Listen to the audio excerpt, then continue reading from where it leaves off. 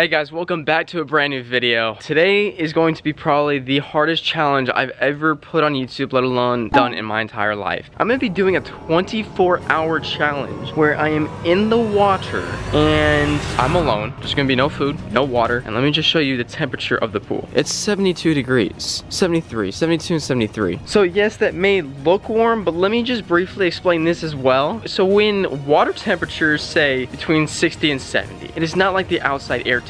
It is 10 times colder. Don't ask me any kind of science related things because I'm not gonna know. Now guys, before we get this video started, I wanna give a quick shout out to today's sponsor and the first video sponsor I've ever had in my life, Sumarpo. They're a triathlon company that has dedicated their lives to making the best gear possible so that you can perform at your best and succeed. Whether you're a triathlon athlete or just a regular amateur athlete like myself. It's great. It works for both worlds. Now, as you guys can see, they have a wetsuit. And actually, they have multiple wetsuits as well as multiple other products. So if you guys want to do me a favor, go to the first link in the description. They will be right there or just type in sumarpo.com, order anything off their website, and then at checkout, use Robbie 15 to get 15% off your order. Now, what's actually really cool about this wetsuit is that it's a three millimeter, which is the normal average wetsuit. So you don't really have to worry about anything because you could use it in tropical waters as well as the colder waters that I'm about to jump in. But anyways, guys, I want to let you guys know that this product here is insane. Let me get in the water first. Oh, Oh my god, it's freezing. So guys, now that we're in the water, I just want to make sure that we actually get this 24 hour thing set up before I forget. We can go to 23 hours and 59 minutes. 23 almost 24 hours on the dot here, okay? So first off, guys, I do wanna say that this wetsuit is literally the best wetsuit I've ever tried on in my life. Not only was it super easy to get on, super easy to zip up, but it's stupid flexible. Like, I can't do this with my other wetsuits. I just can't. It's physically impossible. So that's also a difference between a triathlon wetsuit and a scuba wetsuit. Scuba wetsuits, you're not really doing a whole lot of swimming, you're just kicking. But I will say this, this is still a wetsuit, so it is still the same maintenance, but it also is still the same materials as well. So I just wanna say thank you for Sumarpo for sponsoring this video because this honestly is the best wetsuit I've ever tried on. It's the best wetsuit I've ever had. And guys, if you ever wanna go scuba diving, I highly recommend just going with one of these. Super flexible, breathable. Honestly, it's really comfortable. Which by the way, if you guys didn't know, the way a wetsuit works is it lets water inside. So it's your body it's a thin layer of water and then it's the neoprene wetsuit. Right now there's no water in the wetsuit. So right now I'm just feeling it on my feet and that's it. But I do feel the cold sensation from my waist and below. But right now we're gonna try and keep the core as warm as possible because we just started this. I do wanna mention here that I'm not some biased person that's trying to get you to buy a wetsuit. I wanna say this, I am a certified rescue diver from PADI, okay? You can see here it's real. Another thing is, I've dove the USS Vandenberg in Key West. I've dove the Okinawa. I think this was also in Key West. And I got a bunch of dive records. Like it's at least a hundred or more. So yeah, I'm pretty experienced. This is going to be a really long challenge. So long. And it's already hot. But I don't want to get my head all wet. Because if that happens, then I will seriously go into hypothermia. And I'm not trying to do that today. This is actually really cool that this suit is this flexible. Because I would not have been able to do this with the other ones and like no water's getting in so I'm super warm right now which is great. To me I like that way better. I know a lot of people want the water in first to get it warmed up but I'm gonna be real with you no. So I will say this. I think I will be good for at least the first like five hours because I'm usually good in the water. I do love water but this water's really cold. And I literally just touched my fingertip to it and it was freezing. I think I'll be fine as long as I keep this steady pace. I was only 30 minutes in and I could already tell I severely underestimated how difficult this challenge would be. So guys, obviously staying in the water for 24 hours is actually really dangerous. So to keep my feet safe, I'm literally going to limit myself to the steps. So at least that I can prop up and just have my, my butt in the water, have my legs here or whatever side I want. And then obviously I'm not gonna have my hands in because it's freezing. And look at this, I got my little cheerleader over here. It has officially been a little over an hour. Just another 23 to go, you know, no big deal, right? Just listening to my neighbor mow her lawn for the next two hours. She's already been mowing it for literally an hour and a half. At this point in time, I already had been in this wetsuit for a couple hours, and the fatigue got to me way quicker than expected. So I'm almost four complete hours into this challenge, so only 20 more. As you guys can see, I'm done at almost 11 a.m. tomorrow morning. I still got Cody here. He's been literally just like back and forth, literally everywhere. Literally my ride or die. But as you guys can also see, I'm in the shade now. Like it's, the sun's gone down that much. So it feels great now. Cause before I was like too hot and I was also too cold at the bottom, like from my waist down. And now I'm just like, I'm actually at perfect temperature. Like I was sweating so bad. I can still feel my toes. It doesn't even look like my toes are wrinkly, which is actually really surprising being in water for four straight hours. But then again, just like I told you guys before, I was gonna leave my feet on that and that worked for a little bit. Doing well. I'm just really hungry.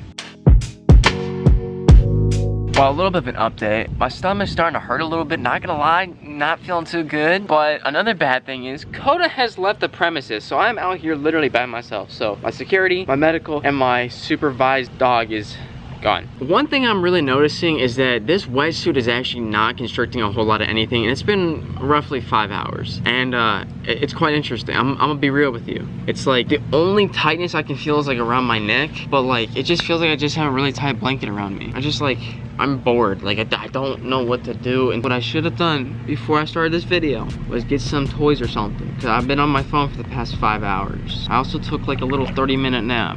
This sucks. All right, I'll see you guys in a little bit. All right, guys, so it's a, just a little after 5 p.m. I got roughly 18 hours to go. As you guys can see, I'm shaking a little bit. Obviously, the sun's gone down. I'm getting cold, like actually really cold. Something that's really scaring me right now is that I don't know if you guys can see the sky, but it's, it's getting a little hazy. I'm really hoping it doesn't rain because obviously I got that camera there. So hopefully everything's gonna be a-okay, but I'm just really hungry and tired. It's not the latest I've ever not eaten, so I'm not like too worried. I'm not lightheaded or anything either. I don't know if that's just the cold weather or like the tight bodysuit. I gotta get my blood pumping now. the sun is totally covering my clouds. I think they're home. I think my parents are home.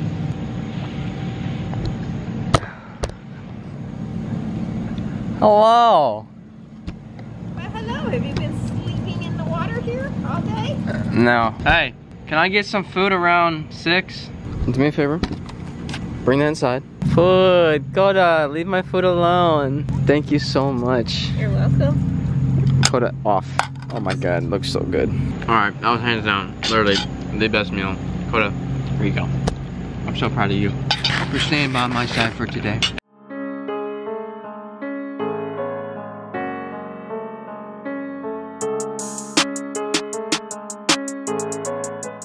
So as you guys can clearly see, it is getting to the point of darkness. So I also got to conserve these batteries a lot because especially this one here, because this one's recording a lot of it, because I can't get out of the water and get new batteries and my parents are about to go to bed in like two hours. I'm exhausted. It, it's weird because my arms are hurting more than my legs and maybe that's just because I'm not putting them in the water and not extending them. Right now I have 15 and a half hours remaining. So maybe when it gets to be around 2 or 3 a.m a.m. Then I'll pick one of these cameras back up and we'll go from there. Also, I don't know how I'm gonna go to sleep. We don't have any floaties. They've all popped and are so old that they won't hold air. And I'm not about to drown tonight. So there's probably gonna be no sleep. If there is sleep, then I'm guessing where I was just like propping up my feet. So maybe just lay down on the first step and then I don't know how to sleep. I mean, I'm, I'm most likely not gonna sleep at all tonight. I'm just gonna sit here bored and listen to crickets and uh, bats fly around. And then probably mosquitoes too too. As you guys can see, I was getting pretty bored. My mood kept getting worse and worse. So I literally just sat there in the water for the next couple of hours. Alright guys, so it's almost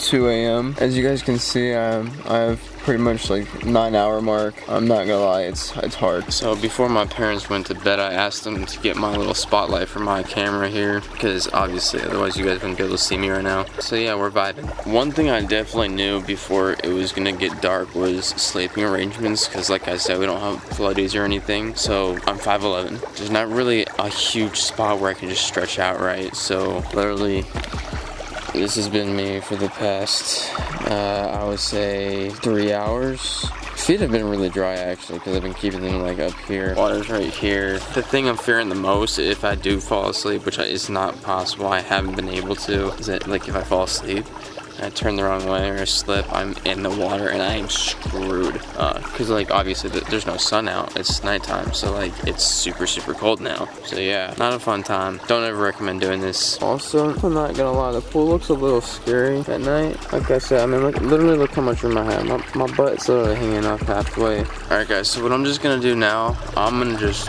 try and maybe get like a little nap and just like fall asleep on the concrete, like head on the concrete, not getting out of the water, obviously. I'm gonna get this. And oh, now there's a little breeze going. Are you kidding me?